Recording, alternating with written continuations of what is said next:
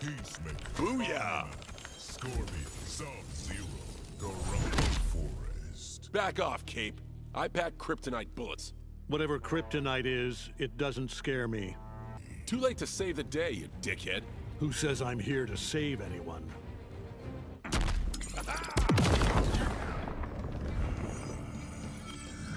Woo! Suck on that!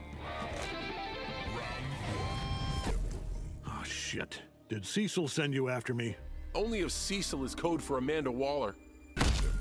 I will cram that stupid helmet so far up your ass. One, this helmet rocks. Two, it won't fit. Jesus! What the hell?